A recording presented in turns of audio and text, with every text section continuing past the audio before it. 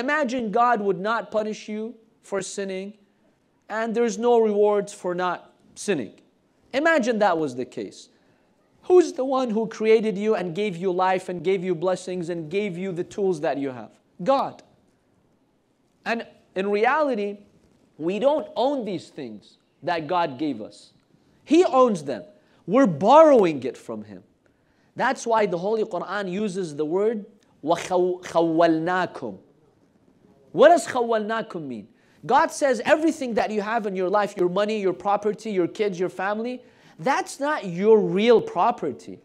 It's a loan that I give you. It's something that I give you to borrow. You borrow it from me.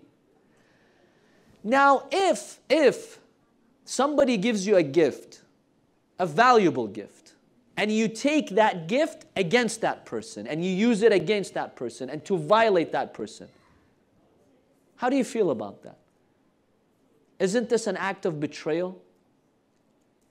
When God has given you everything, forget the rewards, forget the punishments. Just remember, remember that the hands that you're going to use to sin, the eyes you're going to use to sin, the ears, the tongue, the feet, they're not yours, they're God's. How can I use God's property to sin against Him? Let this arouse a feeling of indignation in you. That's one way to keep yourself in check. Feel ashamed about it. Just remember, just remember the next time there is a temptation, there's a sin that's pulling you, just keep that in mind. My hands, my eyes, they're not mine, they're God's. They're God's. And on top of all that, they will witness on the day of judgment.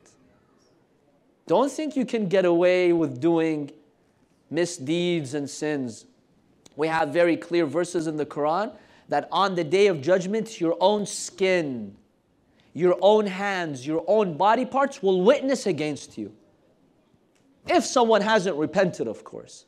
If you repent, God is forgiving and He will protect your dignity.